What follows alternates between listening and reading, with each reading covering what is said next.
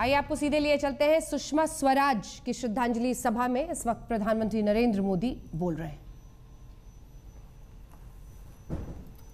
कर रहे हैं शायद। तो ठीक है हमारा शो तो निकल गया। वे मृदु थी वो नम्र थी वो ममता से भरी थी सब था। लेकिन कभी कभी उनकी जबान में पक्का हरवा हरियाणवी टच भी रहता था। हरियाणवी टच के साथ बात को फटाक से कहना और उसमें टच से मस न होना, भीतर से कन्विक्शन के रूप में प्रकट होता था। ये उनकी एक विशेषता थी। और ये सार्वजनिक जीवन में बहुत कम होता है। गुड़ी गुड़ी बात करने वाले लोग बहुत मिल जाते हैं।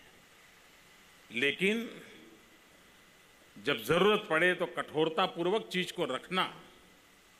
और तब मेरे लिए कौन क्या सोचेगा? उसकी चिंता करने के बजाय, इस समय अगर गलत निर्णय हो गया तो नुकसान होगा। मुझे इस गलत निर्णय से बचाना चाहिए, पार्टी को बचाना चाहिए, साथियों को बचाना चाहिए परिस्थिति को संभालना चाहिए। इस जिम्मेवारी को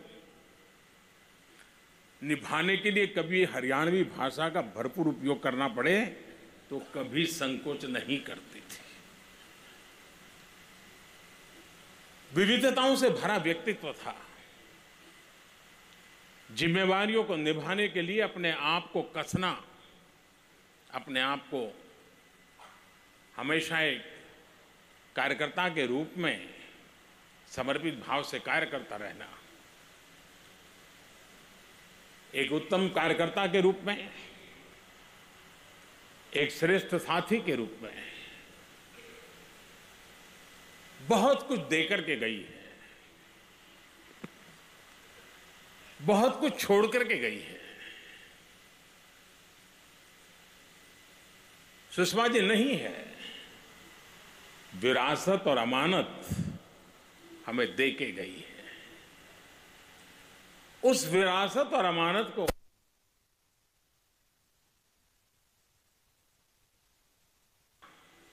कभी कभी ज़रूरत पड़े तो सजाना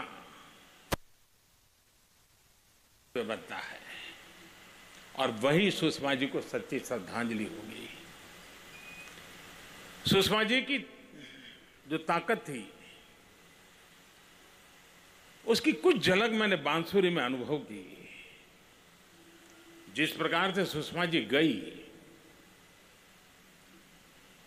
उस पल को संभालना बहुत मुश्किल काम मैं मानता हूँ।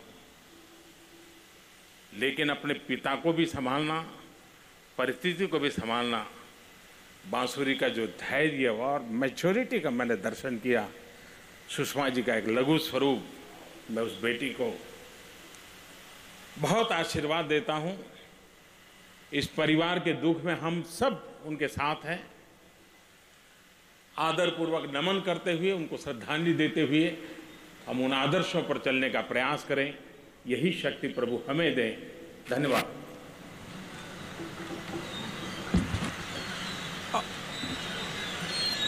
आदरणीय सुषमा स्वराज जी के परिवार के सदस्यगण यहाँ पे हैं।